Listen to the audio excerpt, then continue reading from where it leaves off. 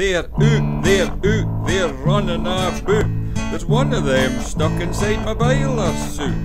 Grabbing these lambs is like playing rugger. Come out of there, shut that gate, you silly looking bear. We haven't got a race or a gate for shedding. If we don't change soon, divorce is where we're heading. A batch of old gates and boards and fences. We keep getting injured, it's like a battle in the trenches. Wife's grabbing lambs as fast as any man. Oops, sorry dear, I've jagged you in the hand. She's no very happy, her hand's going lumpy. Gonna be at least a month till I get lumpy pumpy. We go to bed knackered, but still can't sleep. I wish we had a better way of handling sheep.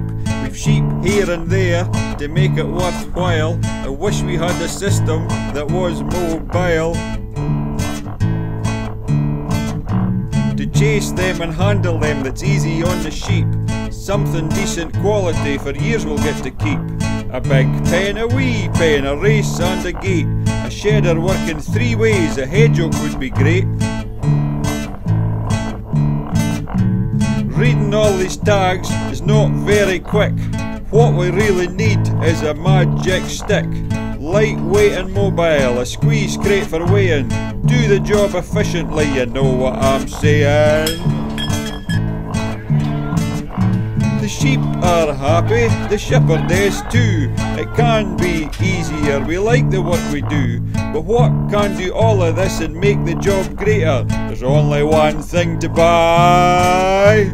I want an alligator!